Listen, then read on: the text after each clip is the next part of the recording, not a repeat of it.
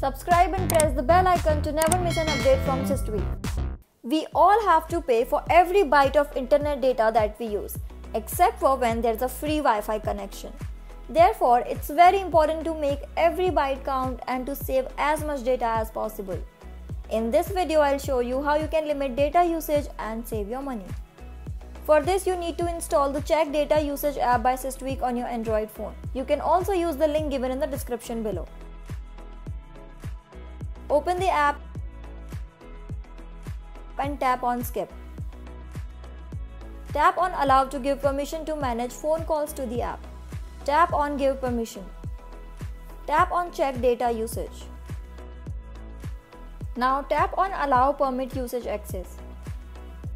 Tap on Yes to go further.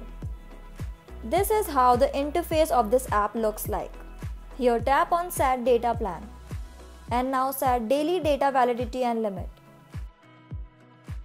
And then tap on Set Data Plan. And to confirm your plan, tap on Yes and you're done.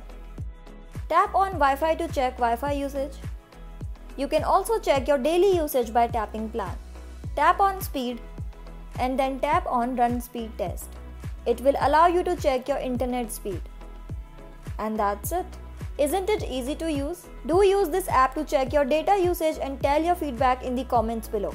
Also, if you like the video then don't forget to like, share and subscribe to our channel.